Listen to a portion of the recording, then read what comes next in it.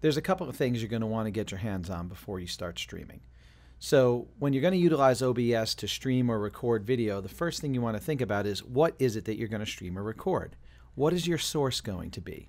Your source could be an app, it could be um, a game that you're playing, but it also could be coming from a camera. So, physically, you might need to have a camera that you can plug in, like a webcam uh, you can often use an iOS device or a phone. We'll kind of jump into a cool hacked way to go about doing that.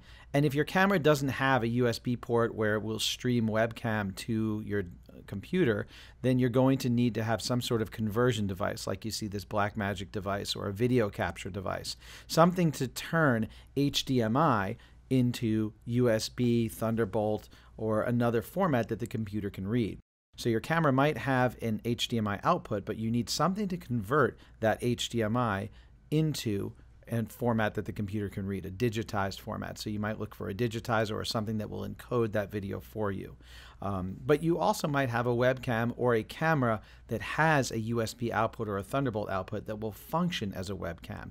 You might have to put it into that mode though. So, you know, not all cameras will shoot that way natively.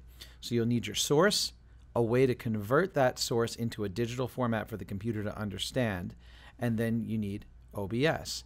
Now, another thing you might want to think about is an audio device. So, this can be a microphone, but it can also be an audio interface. So, in addition to all that, I can think about how am I going to capture my audio. So, you can use an audio device that lets you plug a bunch of microphones into it.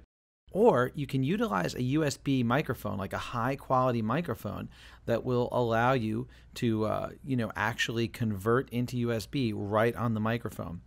I'm actually using uh, a Samson G Track Pro right now. It's a sort of a streamer favorite. A lot of gamers use it uh, for their gaming audio streams because it has such a good range of pickup and you don't have to be right up on top of it, which is kind of nice too. So you've got a lot of different ways to get that audio in. Now, of course, you can capture audio directly out of your computer, but people probably want to hear you. So, you know, it's a little bit better than using the built in mic. We'll get into the audio devices when we talk about mic placement and mic selection. So you're going to think about all those pieces of hardware before you start going. What is it you're going to stream? How are you going to capture the sound? And how are you going to convert that stream into a digitized format that the computer can understand before it even gets into OBS?